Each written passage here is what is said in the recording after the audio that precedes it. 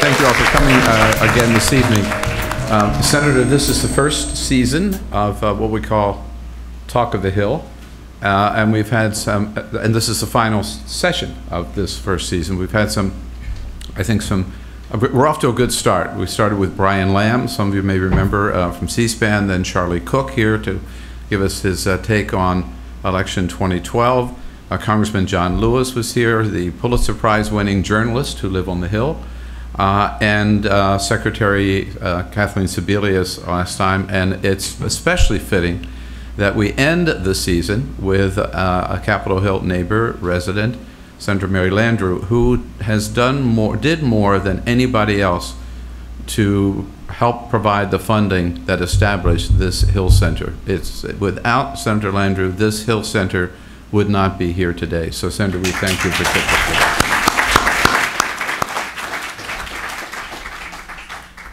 So um, I have to start with the, the, question that really intrigues me about your state, Senator. How do you pronounce it?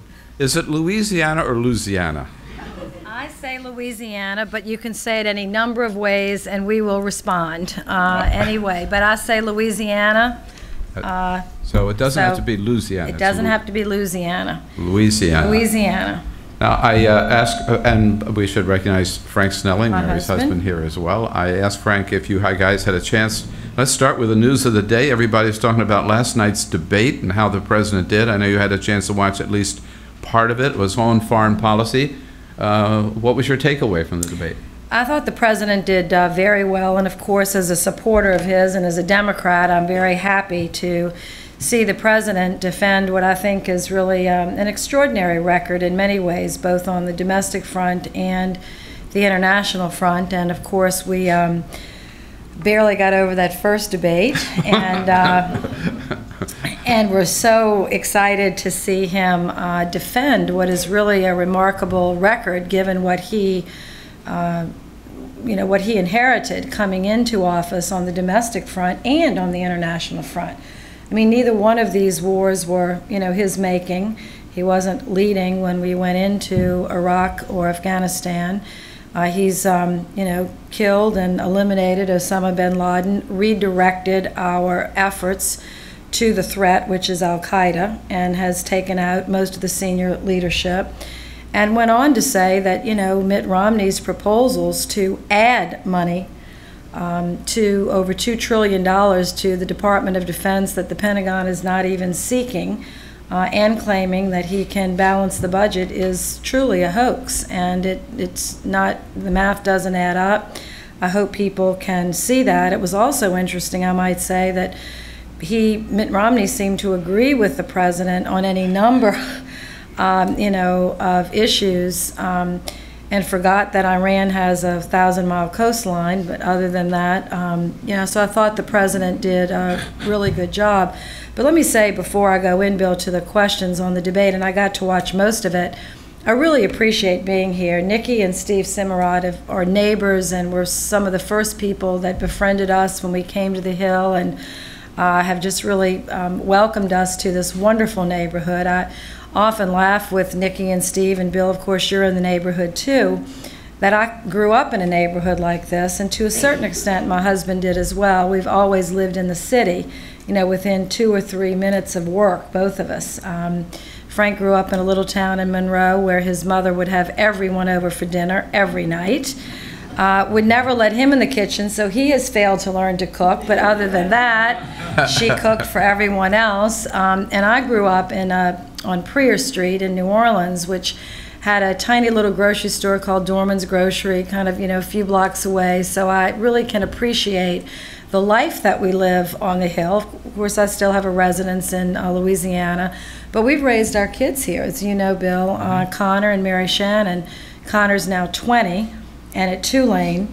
At least last we checked, he was at Tulane going to class. And uh, Mary Shannon is at boarding school right down the road in Virginia, in Middleburg. So she's not too far away, and we get to see her often. So I want to begin by just thanking some wonderful neighbors uh, for being such a special neighborhood, for members of Congress who do choose to spend time here. Um, And you're going to have to forgive me tonight for being a little partial to the Democratic side, but if I get too much, I can say some good things about the other side Well, if I, if I have to. You know? It's two of us.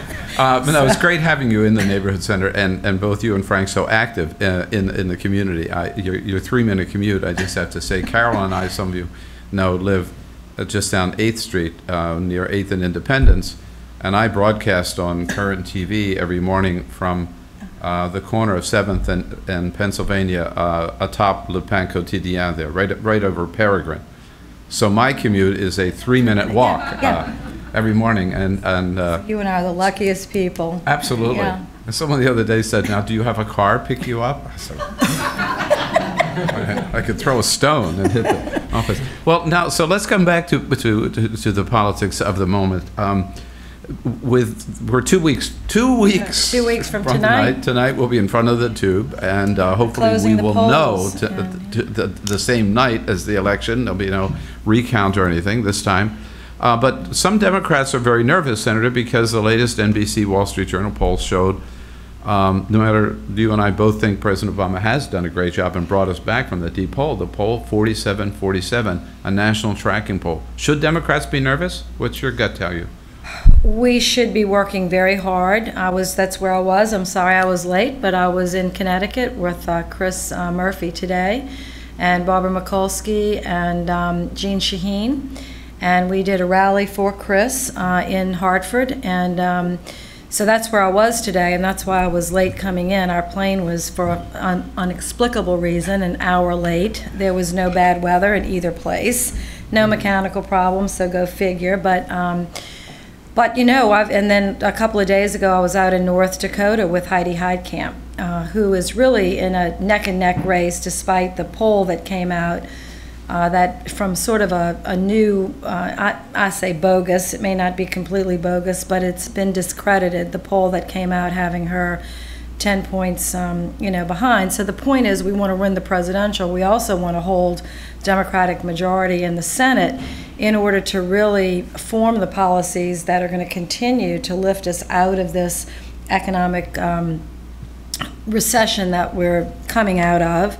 Uh, and to forge a path, you know, ahead with so many exciting and challenging places around the world. So I wouldn't say we should be nervous, but I think that we should all be working very hard. And as I shared with a group of 200 women gathered at a fundraiser after the rally, that reminded them, you know, that I won my race in 1996 um, by 5,778 votes, but who's counting? Uh, out of, you know, 1.5 million cast, we have 4,000 precincts in Louisiana, so you can do the math, it's 1.23 per precinct. And, you know, I mean, think about that. You know, they're anywhere from 400 to 1,200 people in a precinct.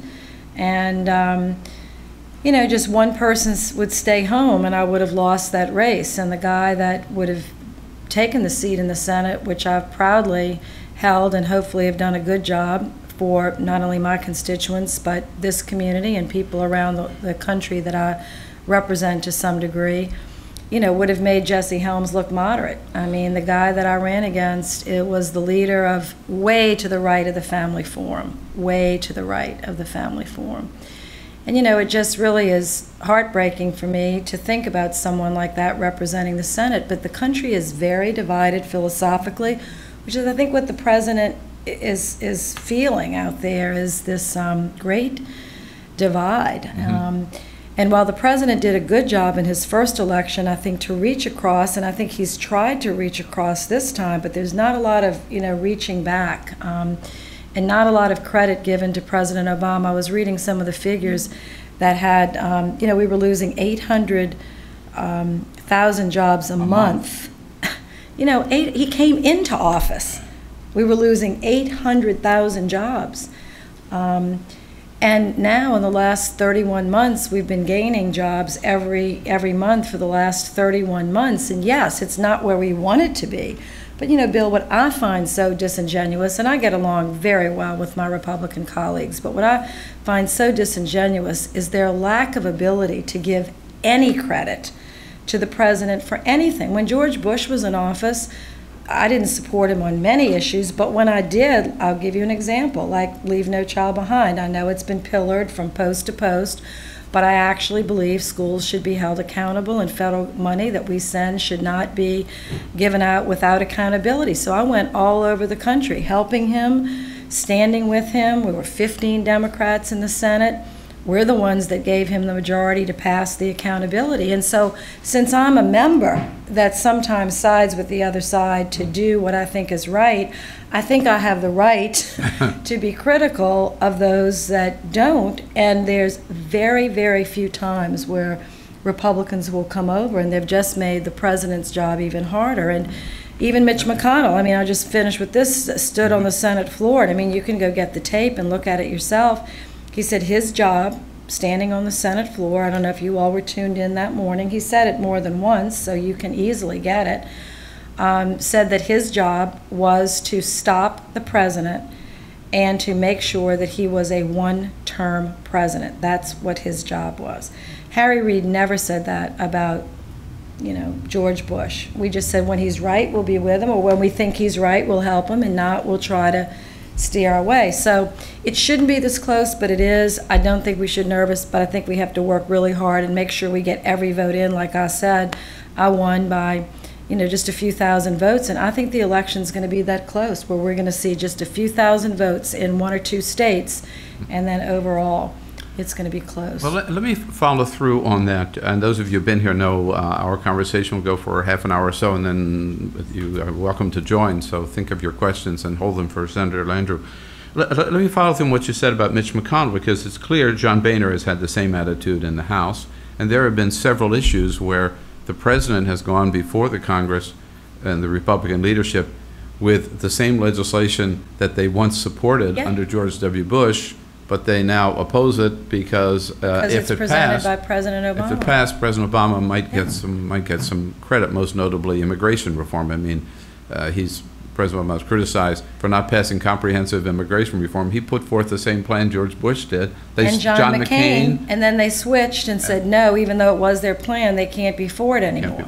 So uh, the question I get a lot, Senator, and I don't know the answer, so I'm going to throw it to you, is not if, but when President Obama is Mm-hmm. reelected, will the Republicans be, be more willing to work together with him to get some things done? Not to get everything that they want and not for him to get everything he wants, but just But to solve some problem.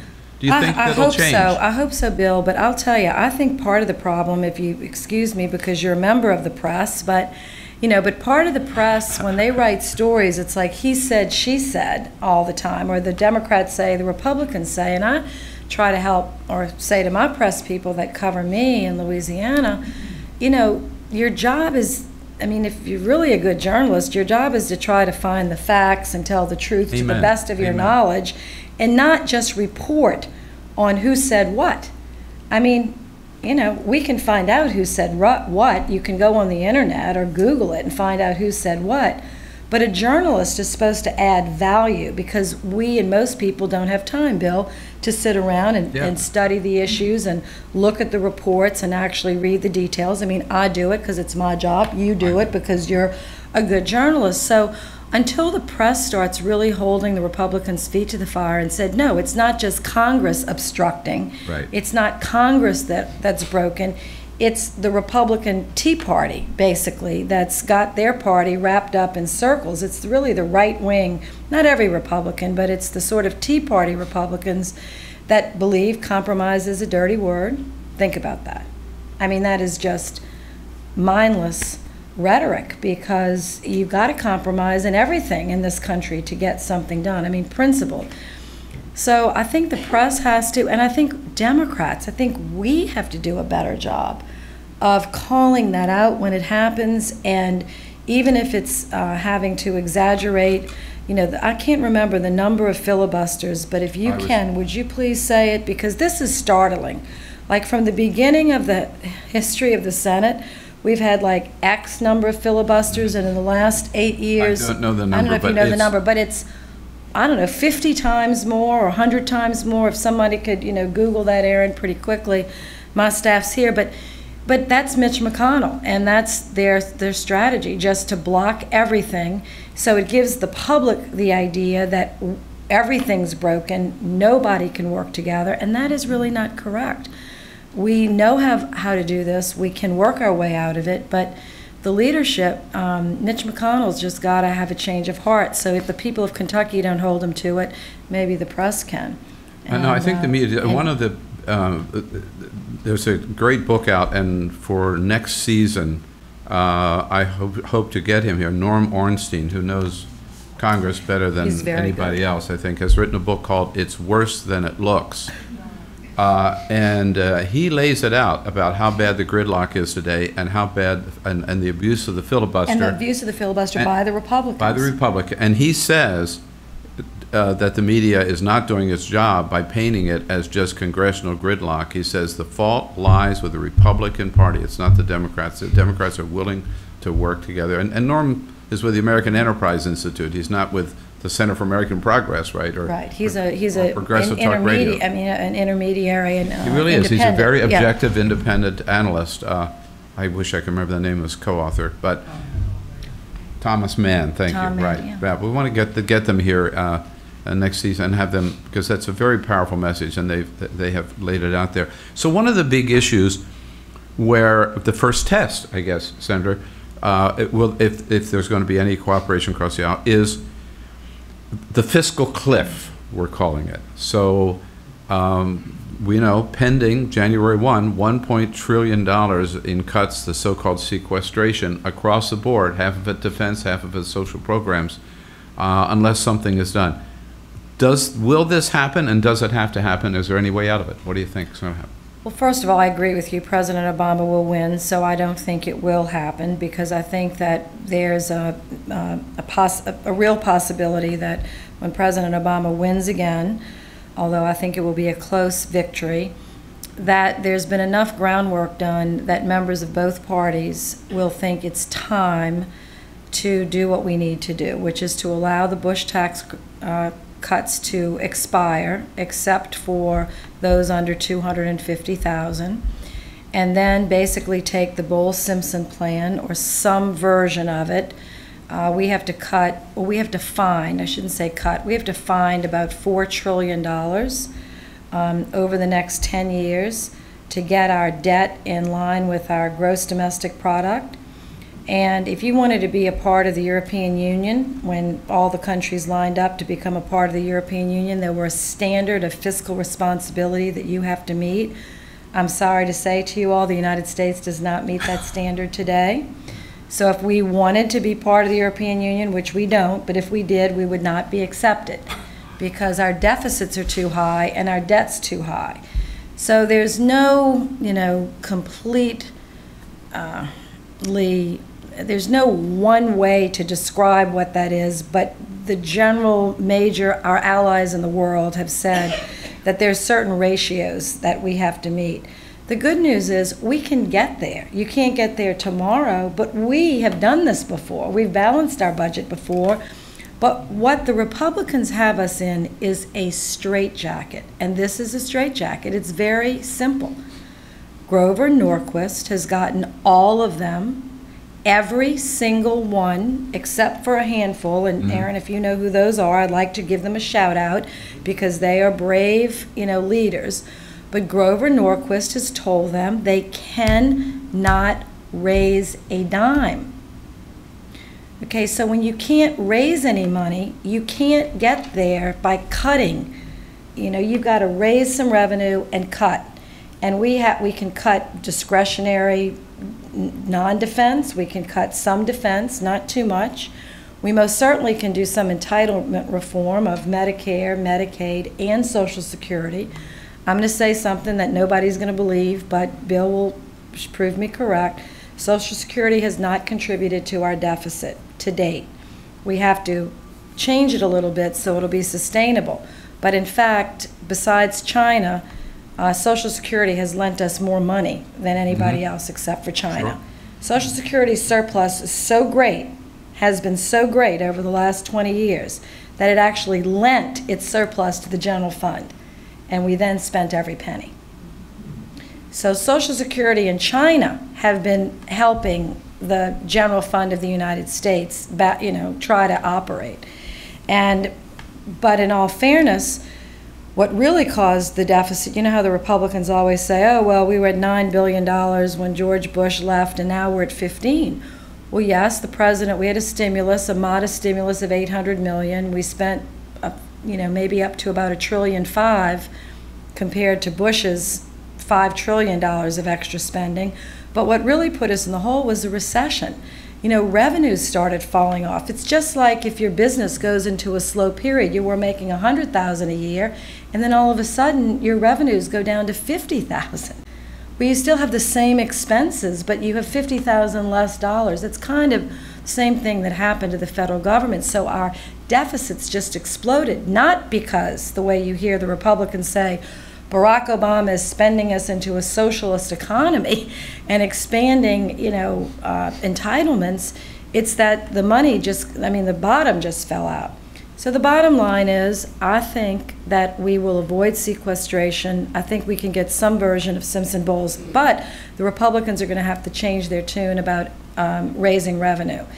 And the reason I know we have to raise revenue, and I'm not talking about you know, raising everyone's taxes, raising rates and being onerous. But you've got to figure out to close loopholes, maybe raise some of the rates slightly on the higher income, over 350,000 or 300,000 in annual income, maybe even 500,000. But you've got to do that because the income coming into the federal treasury, and this is, you know, people think this counterintuitive, but it's the right the truth is only 17% of the GDP, Bill. It's the lowest since President Eisenhower was the president. So you've got less money coming in at relative to the GDP. It's more dollars because we're a richer nation.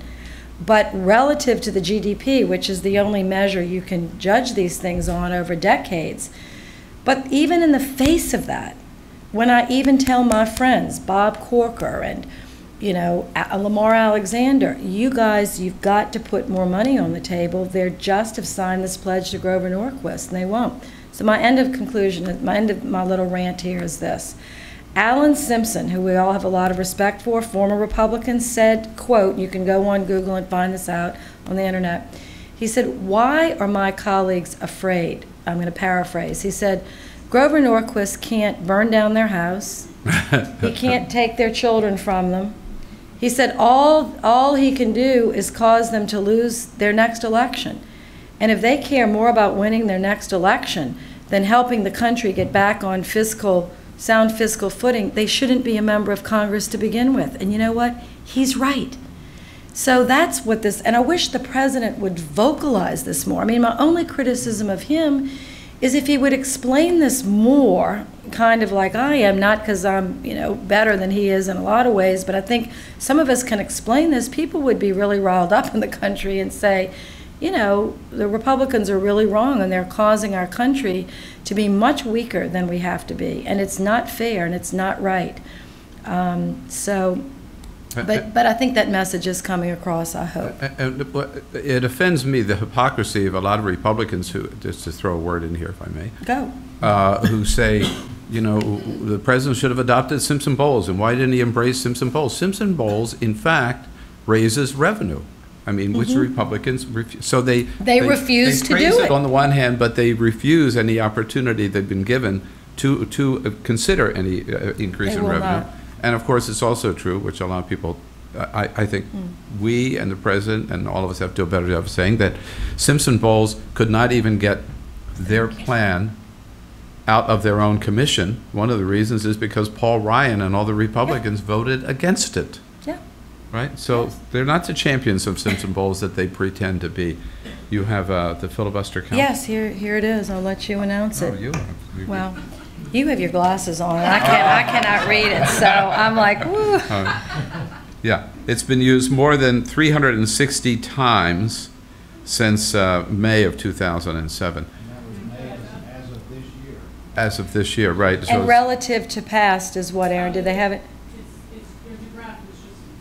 Yeah, it's a graph that just goes straight up. So I mean, it, it might be like 50 times in the you know right. comparison, and now 360 times, like 50 times over the last 20 years, and 360 times in the last year. But also, yeah, and it's it's been moved from a- a filibuster on the vote, on the floor, to filibuster the procedural vote as to whether even to move to to take a vote. So it, it, and uh, it's total, total abuse of that. Well, so Senator, I want to come back a, a little closer to home for you because we, we still hear the word Katrina. Uh, you know, what a body blow to your state and to the city. Have we recovered from Katrina and what lessons were learned? And will, and com, kind of a compound, will New Orleans ever be the same? Well, I'll start with the last one first. New Orleans is going to be better than it ever was. Um, I can say that with some level of confidence. My brother is the mayor, and uh, I know the work that he's doing very well. And uh, the whole city, he was elected overwhelmingly by every precinct in the city, every neighborhood, every racial group, and he still enjoys tremendous support because of his great leadership. Of course, the council, and and he's also leading a regional recovery. Um, but he's had plenty help, plenty help from this administration, from President Obama, unlike President Bush, that was very reluctant. President Obama has leaned forward from the day that he stepped in. His cabinet members have been there nonstop. Literally, Janet Napolitano has been there 12 times, um, which is unprecedented. Um, Shaun Donovan has been there at least 10 times. I mean, this is in four years. I mean, the, the cabinet officials just come in and out, helping in every way they can. But let me go to the first one. We're going to learn a lot about Katrina. There are going to be many books written about it because what I'll say in just the short snippet is the President of the United States, I'll never forgive him for it because he never really told the people of the country what actually happened. And what happened was Katrina did not knock the city to its knees. It was the day after Katrina. The sun was out. The city had survived a huge, monstrous Category 3 storm, and the region had survived. I mean, there was huge damage, of course, along the Mississippi Gulf Coast. That is not unusual. You know, if you lived through Camille, you lived through Betsy, you know, when a storm like that, 150 mile an hour winds, blows up against the beaches along the Gulf Coast, there's nothing you can do other than have stronger homes to withstand it. I mean, if Trent Lott's 6,000 square foot brick mansion, there was nothing left but the hose, would tell you how strong that wind is. But when you get off the beach and you get 75 miles, what used to be 75 miles of very lush, strong marshland, which is gone, to New Orleans, you shouldn't have that kind of wind because it'll, you know, the, the marsh blocks the wind and the trees. But what happened wasn't the storm. It was the federal levee system that collapsed. In 52 places, there were breaches. And the water didn't come from the river, it came from the Gulf. And when it came, it didn't come in inches.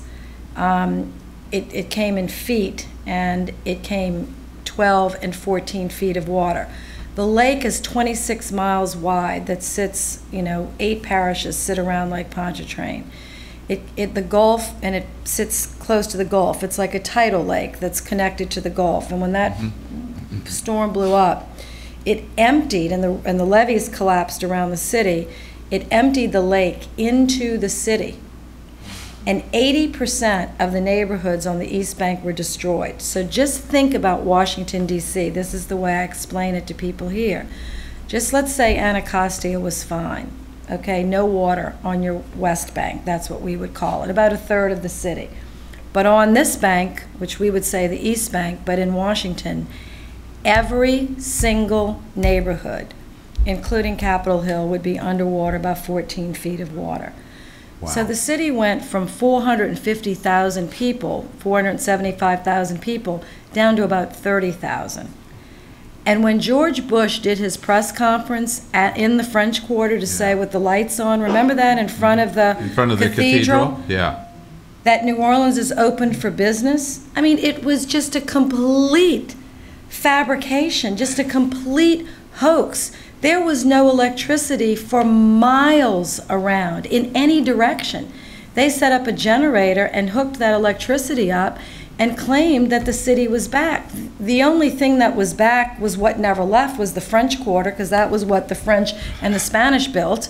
And so that survived. It was what the Americans built, you know, that kind of ruined it after that. But from, from just, you know, y'all have been to the French Quarter many times. It originally 10 blocks one way, 10 blocks square. That didn't get a drop of water. And then all along the river, which is in any community the highest part of the city, along the river, which is the ridge. We call it the Crescent Ridge, let's say, for a quarter of a mile along the river, which is only a small fraction of the population. Poor people live on that ground and wealthy people live on that ground. That was another misnomer, that it was only the poor neighborhoods that flooded. There were million dollar homes that were under, you know, 14 feet of water, which is another thing that people didn't realize. The entire lakefront was underwater. So here's a president who a city was co- virtually completely destroyed. And he never really kept saying anything about it. He just kept blaming the governor and the mayor for not evacuating people. So the long and short of it is thank goodness that i, I was here. I have to say it's going to be the legacy of my commitment and on the appropriations committee in the right spot at the right time. And just my personality i would just not let the president get away with it so fought for billions and billions of dollars and got that money back to the city and to the region. So the levee system, the conclusion of this, the levee system that you all invested in, $14 billion, held in Isaac. In Isaac, In right. Isaac. There wasn't a drop of water in New Orleans, Jefferson for the most part, which is a $450,000 parish, 450,000 person parish, right on the other side of the canal that breached. And then St. Bernard, you know, St. Bernard lost, they had 67,000 people. So just think of a neighborhood. Capitol Hill, 67,000 people. I don't know how many people Capitol Hill has. Um, completely, every home was destroyed and every home completely uninhabitable. It would take a long time to rebuild, right? So that's what we're on, seven years out. We're rebuilding. We're back at about 350,000 people. So we have about 100,000 people to go.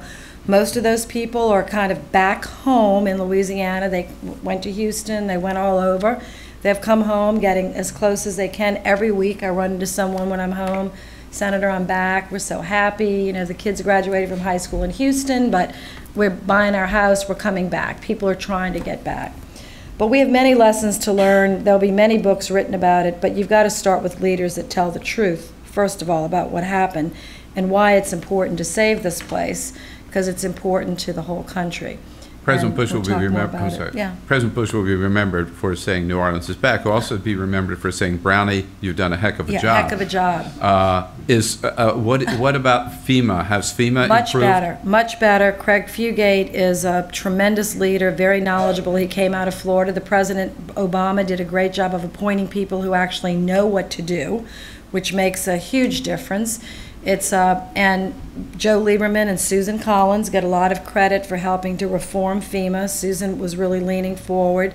Uh, she's the authorizer. I now am the appropriator for FEMA. I'm the chair of the Homeland Security Appropriations Committee, so I fund FEMA and the Coast Guard, which did a magnificent job rescuing people. But you know, we lost 1,800 lives. I mean, if you think about that, we lost 3,000 approximately in 9/11. Lost 1,800 people. Half of them probably drowned, and or some something related to the water, and half of them either um, died of a stroke, watching everything they own, or you know died of a heart attack, or died of exposure. I don't even think we've ever really published. Think about that. I don't think the president of the United States ever even asked to publish the names of the victims. There's no monument that I know of. I just asked my staff the other day. We've got to really think about doing something for the names of Yes, the yes. people that died in 2005, August 29th. 1,800 Americans lost their lives when the infrastructure of this country collapsed, and some of them drowned in their own homes. I mean, it's really frightening to think about, and, and that's another thing that I think um, the president really did not tell people about the state of infrastructure. But, you know, we, li- we all live and learn. I've learned a lot, and I think FEMA's much better. I don't think it'll happen again. But Isaac was a very bad storm, and their plans for that I won't go into. But, but thank you all for everything you do. And people still come down, Bill. We just had 30,000 kids from the Lutheran Church. 30,000 hmm. Kids came down and they're still gutting homes and helping people get back. Brad Pitt's still there. Y'all got to come down and see Brad Pitt, our favorite New Orleanian. Yeah, when we were there, we saw some of the homes that he's actually, Yeah. that he's, that he's built. Well, a similar question is sort of like a double whammy, uh, recovering from Katrina, and then we had the BP oil spill a couple of years ago. Uh, The lessons learned from that. Well, you know. And is the Gulf back? The Gulf is back. The Gulf is back. You see the the wonderful commercials on television Yeah. here. It really is not um, a hype, a hyperbole, a hyper, hyper about that. I mean, it's really true. Um, it's not an over exaggeration. It's really true. Um, I flew over the Gulf just last weekend, two weekends ago, with Ron Wyden, and I took him down because he's going to be the president. He's going to be the chairman of the uh, Energy Committee in the Senate, and he had never seen the offshore rigs, and he'd never been to the uh, mouth of the Mississippi River, which is really an extraordinary trip. Yeah, if any of you ever get down there and can rent a little plane or a helicopter, and get up in the air and fly out from the Superdome, we lifted off on a helicopter and flew right up and over. And you can see how the marsh is so deteriorated. You know, when our city was founded, there were just miles and miles and miles of cypress trees and things that protected the city. But the river has been um, leveed for the channelization of this great navigation, the greatest, one of the greatest river systems in the world, and the subsidence is just frightening. So I showed him that. Um, and, you know, he was very, very, very, very impressed with it. And, you know, so we've just got to keep putting one foot in front of the other and And in terms of um, the Deepwater platforms and what happened with Deepwater back. Horizon? are they- Well, they're all back. I mean, they're, are they they're, they're coming back. They're much safer. You know, we would argue, and I'm a big supporter of the oil and gas industry. I know that there are some people that aren't, but the industry, for the most part, has had a very excellent record over time. And I'll give you some statistics. Before the BP, uh, which was horrific, and a real outlier as these things go. We've been drilling in deep water for a long time now, not as long as shallow water, but in the last 20 years, we, we're now drilling easily 10, 20, 30,000 feet deep uh, wells, which is pretty extraordinary technology that allows you to do that. We developed that technology in the Gulf, and until BP, we'd never had a massive blowout. In fact, with all the wells we've drilled, over 40,000, we had less spillage from those platforms than from the natural spillage in the ocean itself. And most certainly a lot less than the tankers. I mean, the, the, the pollution comes when tankers run in, like Exxon Valdez was a tanker accident. We have tanker accidents a lot. Some of them get front page and some of them are buried on the back of the page. We don't really have tankers in the Gulf, you know. And if we do, they tie up 18 miles offshore. They don't try to come close to the shore. They tie up to a facility we call Loop, which I think there should be one everywhere, so the tankers don't have to come into port. It's like a big hose. They, they put the hose together and then they bring their oil off the tankers by pipeline. That's how we do it in the Gulf. So BP, I think the company, you know, they're getting ready to go to trial. And they're going to pay, either go to trial or there's going to be a settlement. And they're going to pay the biggest settlement, biggest penalty. And they deserve to pay a big penalty because they really, from everything I've read, from everything I hear, they were rushing that well. They had a lot of, uh, they just, they were not, they were just not minding the store. So 11 men were killed. Some men were injured, and they spilled 5 million barrels of oil in the Gulf. We think we've collected about 4 million. We've, we've lost a million. Nobody can account for it. The science is not where it needs to be. But we're going to take that BP penalty. This is a very important bill I passed with a lot of help. I'm very happy about it. The Restore Act, and instead of that penalty money coming to the federal treasury, I mean, we could use it for other things, of course, but we've diverted 80% of it to go back to the Gulf Coast to help in, in, do research about our oceans and our fisheries, and also give the Gulf Coast states some direct revenue to shore up this coast, not only for our benefit, but for the benefit of the country. So we believe we can drill for oil and gas safely. BP, they were operating this well in a very reckless manner, and they've paid a tremendous uh, price because they've already paid out over 20 billion, and they may have to pay another 20 billion before the day's over. It's a lot of money. Yeah. But they, but they messed up, and when you mess up something like that, you've got to spend money to clean it up. They're also spending a lot of money on television. They're also spending money on television, yes. their public image. We see those spots all the time, too. Uh, I have one more question, and then we'll open up to the floor here. Um, Senator, I want to ask you about the family business. I mean, you mentioned your brother, um, Mitch, uh, the mayor of New Orleans, your great, your dad, great mayor of New Orleans, legendary, Moon Landrieu, you, the United States Senator. I mean, so did your dad tell you and your brother, hey, this is the family, this is what we do, you got to run for office and get No, involved no, in he politics? didn't. He, he, he he says often, you know, he's the father of nine children. My mother and father had nine of us, and they had us in 11 years.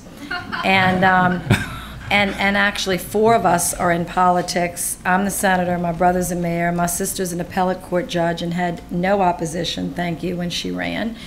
Forgot And then her, my that's brother right. is a U.S. attorney, unelected, but you could say political. So my father says at least he had five kids that were smart and, uh, and didn't go into the business. But um, But no, It's a tradition of public service. the that tradition must of have- public service. It started with him. You know, my father was the first uh, person in his family to go to college. His father went to third grade. His mother went to eighth grade. But they were a strong, uh, hardworking Catholic family that had two brothers. One brother had 10 children, and my father had nine. Um, all of us have gone to college. Five of us have postgraduate degrees. My grandmother just worked her little fingers to the bone and sent my dad to Jesuit, and the Jesuits taught him. And my mother went to Ursuline, and the Ursuline nuns taught her. And then the nine of us just kind of grew up in this wonderful neighborhood, just like Capitol Hill, not quite as um, wealthy as Capitol Hill, and in a much, uh, uh, much more modest circumstance, but um, very close knit community. And we were just sort of taught that you had to help out. You know, I mean, kind of help out where you could. And so that helping out and serving others and just kind of led. And then I was very fortunate to marry this wonderful husband of mine whose uh, family was also in public service. Now, people accuse me of a political, uh, a marriage for political advantage. And I said, yes, that is true, but I did love him as well. Um, because he was from a political, and is from a political family, not as large as mine, but very well known from North Louisiana. So for a girl from New Orleans to run statewide, see, I had to have this union uh, for North Louisiana. So Frank served for 12 years. His mother was one of the first women ever elected in Louisiana and served on the BESE Board, which is like the elected Board of Elementary and Secondary Education in the largest congressional district. She was quite a character. She rode horses until she was 79. She barrel raced and rode around a red pickup truck. And then Frank's dad never was elected, but he tried several times. they were Republicans until the Civil Rights era, and then they switched, um, you know, to be uh, stronger civil rights leaders. And anyway, so that's it's been an interesting, but I, our family is just we just believe in public service and uh, helping out where where we can, and I'm happy that it ended up with me being in the United States Senate Well, and to be able to help you all as well when I can. And I'm very happy to have helped with this building. We're lucky you are where you are, and uh, both for the people of Louisiana and for us here on, on Capitol Hill. Uh, A question for Senator? Or- Yeah.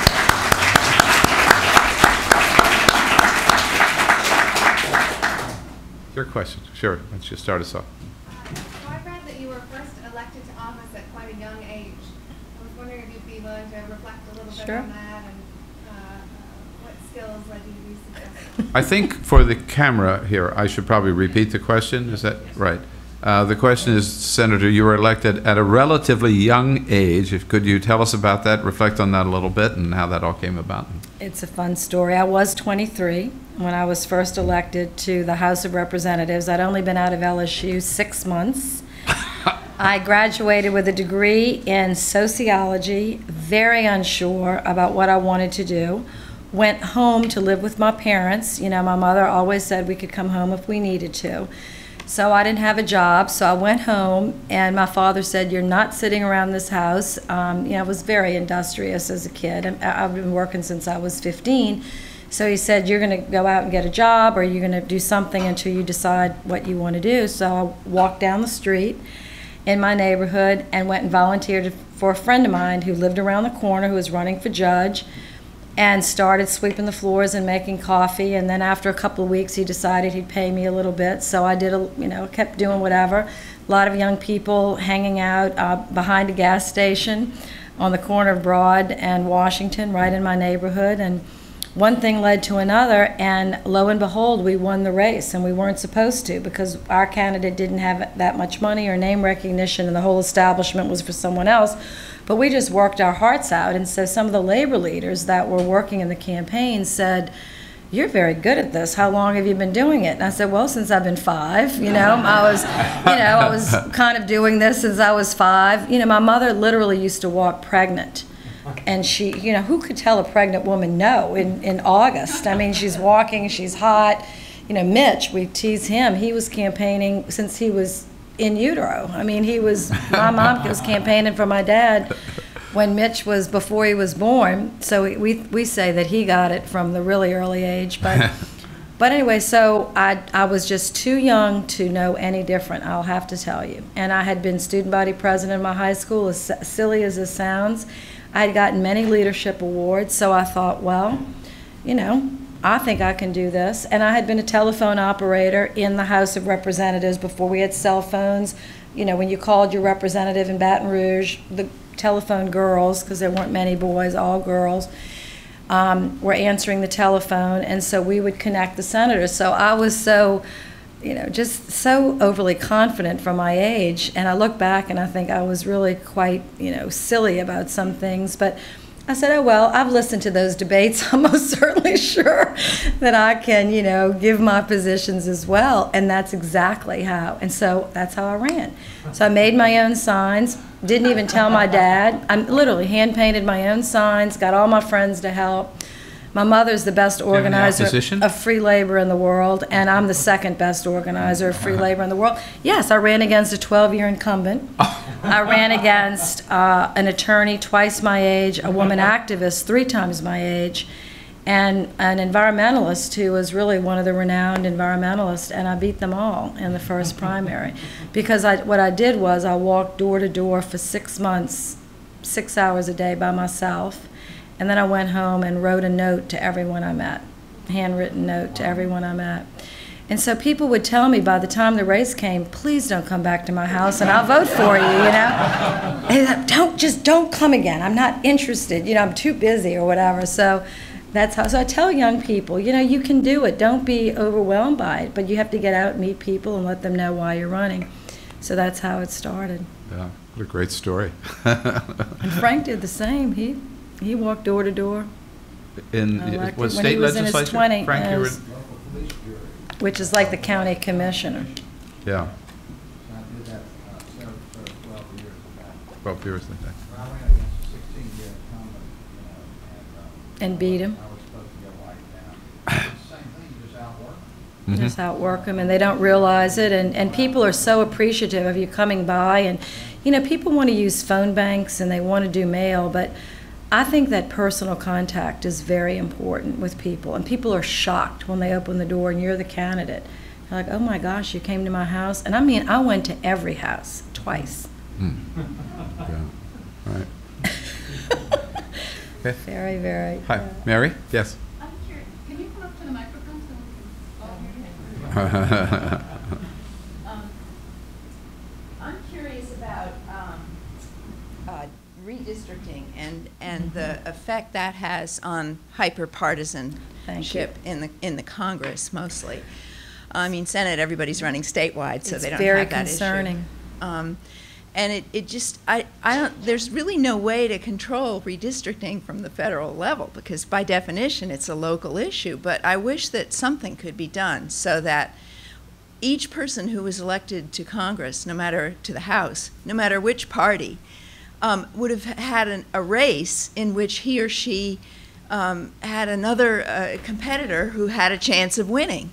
And therefore, they would have to have some lessons in reaching across the aisle, quote unquote, while they were running for office. Exactly. No, you have put your um, finger right on the problem, and you're absolutely correct. And I'm not sure what can be done about it, but we have to have, we should have a more detailed discussion, Bill. And I don't know if you have any thoughts about it, I'd appreciate hearing it. But you're absolutely correct because the states redistrict, and that they do that. They redistrict so your district is highly, highly conservative Republican, or it's highly, highly liberal.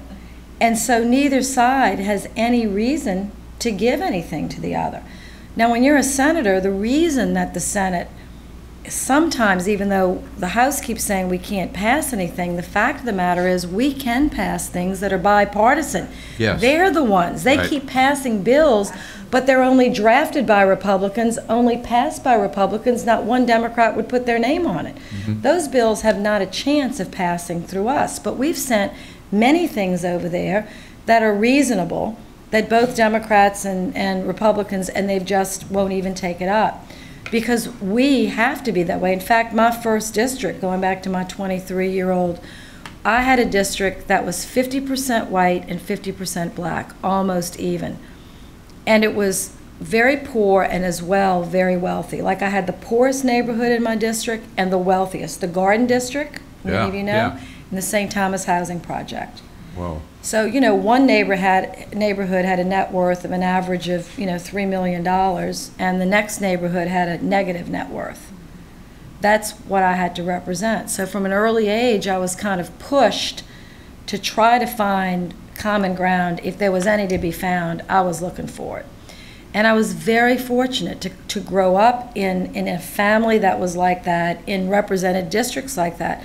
But I come here and I listen to some of my colleagues and I think, what kind of place do they live? I mean, it's so one way or the other that you can't find any, you know, common ground. But you are absolutely correct. And Bill, I don't know what, what, have you talked with any of your colleagues about what could be done it- about it, or? The problem is it would have to be done in. At the state level?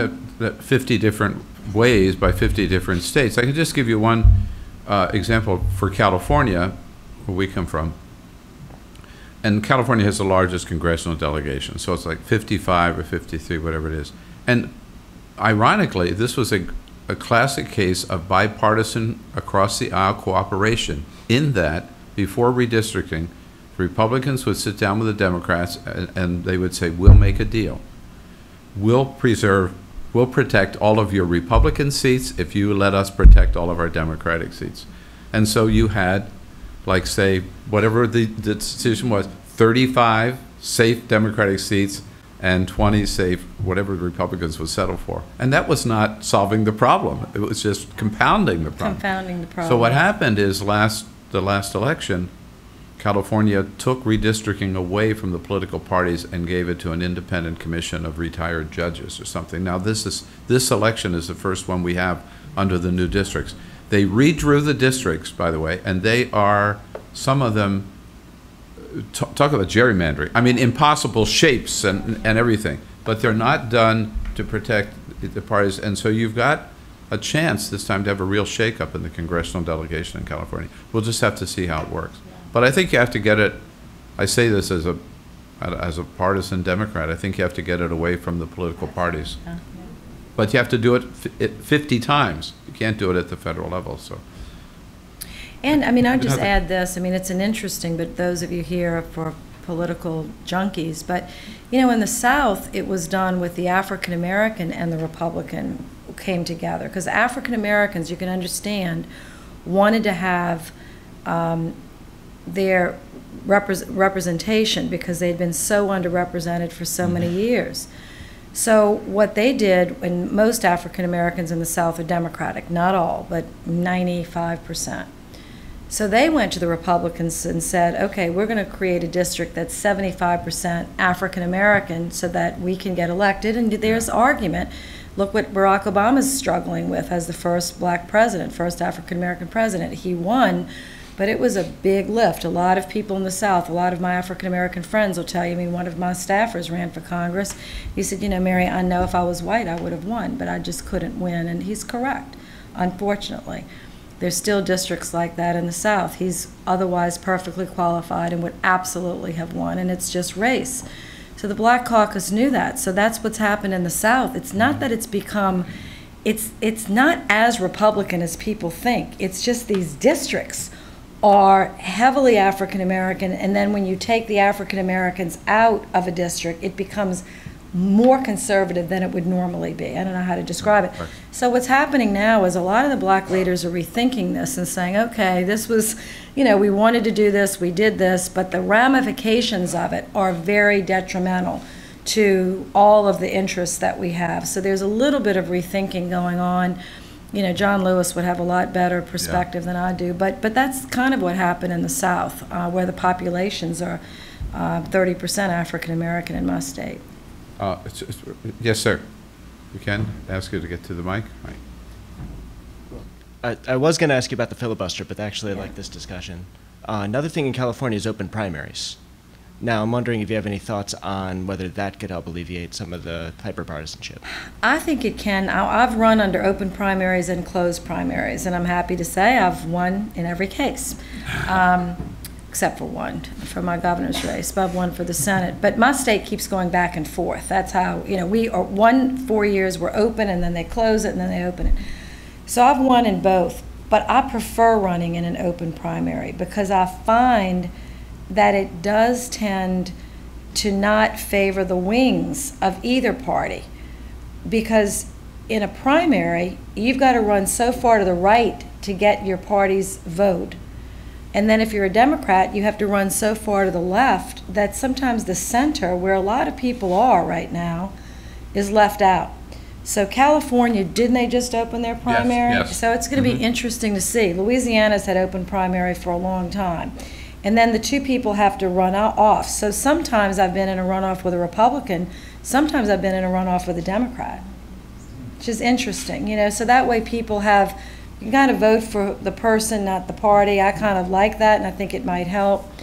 Um, But I would appreciate some other view on it, but that would be my Now, perspective. there are several seats in California, most notably uh, two residents of the Hill, Howard Berman and Brad Sherman, who are running against each other because they were the two top vote getters in this new district. And they're both Democrats?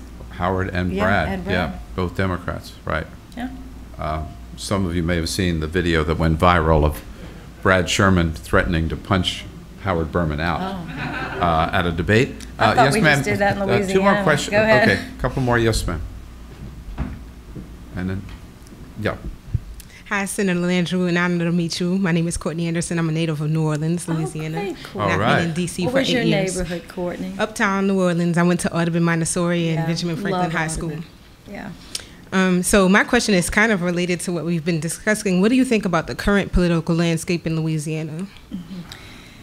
Well, at the state level, it's pretty bleak from our perspective. You know, we have um, uh, Governor Jindal, who is our governor, and um, while we've worked together in some ways on education reform and, uh, and uh, some other things, he's one of the the only governor in the state to turn back um, an $80 million broadband initiative, the only governor in the whole country, not in the state, the only governor. We got our, secured with the help of this administration $80 million to get rural communities connected to the high-speed internet, and he sent the money back because he said he didn't want to have federal funds coming into the state. He's only one of three governors, but then he took the stimulus money and went around and cut ribbons, you know, claiming that it was partly his. Um, he he's one of three governors that has refused to expand um, Medicaid, even though Louisiana has more people uninsured. If he would accept this tomorrow, 550,000 people could get health care that they don't Whoa. have today. 550,000 people. And these are people, 275,000 of them are working. They're working in hotels or restaurants where they work a full, but they only make $28,000 a year or $30,000. You don't have health insurance, so, you know, Medicaid would cover you up to 133% of poverty. So, you know, and he has um, not raised a dime, signed the Grover Norquist pledge, so our hospitals are getting cut and closed, both in poor and wealthy communities. People are pretty much in an uproar about it. Our universities are taking a big hit, and he's just not. Uh, his whole shtick is, um, I don't. I'll have a quote surplus, will not raise a dime. Took the Grover Norquist Norquist pledge, and um, as a result, our state's really floundering. But so are his poll numbers that have dropped 12 points in the last year. And so while he would probably, you know, and I'm not sure he would win again if he ran. So it's Republican, he just got reelected though, so it's Republican primarily, but it's starting to change. And I'm up in two years, then we're going to try to elect a Democratic governor. We have some fabulous Democratic mayors in Shreveport, Cedric Glover, of course, Kip Holden in Baton Rouge, African American and white, Hispanic mayors of some of our cities. So it's it's kind of bleak, and but the governor's getting pretty beat up about traveling the country for Romney and not paying attention to business at home. Mm-hmm. So I think there's hope for the Democratic Party resurgence. So we have time for two more, and I see you, you, sir, and then the gentleman in back of you. Yeah. Now, um, this gentleman here first. Yeah, I think he's What's been your waiting. outlook for implementing um, uh, the Affordable Care Act? Well, as I said, um, you know, in our state, the governor has refused to set up the exchanges. He's refused, um, which will be done anyway, because thank goodness we put in the law. You meant on the national level, didn't you, in terms of, right? Okay. Yeah. So what I'm, but I'm going to say, so the governor, I mean, how, we're going to impl- try to implement the law, but part of it has to be implemented by governors. So if you're in a state where the governor is helping you implement it, it's going to get implemented faster. But I think that when President Obama wins, it'll be a step by step, and this new process, uh, which is a way to cover everyone in the United States, the older people will be covered by Medicare, the poorer people will be covered by Medicaid, and everybody in the middle will be basically covered through a private coverage, which is a Republican idea. That's It right. came out of the Heritage Foundation, you know, it came out of the Heritage. Yeah, the. Heritage Yeah, the Heritage yeah. Foundation came up with this. Instead of having a single-payer system like Canada or a government-run system, this is truly a public-private partnership, which, with everybody paying kind of according to their means, which makes sense. And if you're very wealthy, you pay everything for your own insurance. But if you're not, even up to 400% of poverty, which goes almost to like $95,000, almost up to $100,000 of income in some states, you can get a little bit of a subsidy to buy the kind of insurance you want for you, chosen by you, from an exchange that might have 30 plans. This is a very pro, you know, choice, consumer-oriented, private sector model that they're now railing against, but that's what it is. So I think we're going to implement it. If Romney is elected, there are going to be some of us that will, um, that are going to hold the line and not have it repealed. I'll be one of them. I may lose my seat over it, but I'm prepared to do it. So it just will depend on how, um, you know, it will just depend on how many of us are there to, to hold it. Yes, sir. You can wrap it up tonight, then? Hey, Sure, yeah, my name is Ed Dooley, I'm a neighbor here, and I just wanted to thank you for the wonderful assistance in Thank you. saving this place. Uh, It's a good example of, of infrastructure. Yeah. You know, you, you put a lot of people to work during a really tough time, and uh, it, it is hopefully what could happen after the election if you on appropriations and the Ways and Means Committee can get together and, and do what the president suggested, that maybe um, the, the, the lack of spending, or the reduced spending because of uh, Iraq and, uh, and Afghanistan over the next few years will allow us to have some money to do infrastructure things like building marshes uh, to protect New Orleans. and- Yes. And to do uh, uh, infrastructure that will put people to work and, and provide benefit to the, to the United States. Absolutely. It's a The whole question yeah. of infrastructure, Senator, is one that, that may- maybe people don't understand, but it's pretty basic, taking care of our roads and our bridges and our highways and, and And used to rail, be roads, something bridges, that. rail, and may I say water, I mean, which is a big issue for us in Louisiana that gets overlooked. I mean, we cannot put any more 18-wheelers on our highways, can we? I mean, we, if you go down these highways and you see these 18-wheelers, and with the trade and expanded trade, which we're all for, and the great opportunities with the internet and with global expansion and exports, we've got to start using our waterways better. And we, you should have someone come and talk about that uh, because it's a very interesting subject. We have kind of forgotten about our rivers, our canals, our waterways, and it, you can ch- move things very, very cost effi- efficiently on the water, get them off of our highways.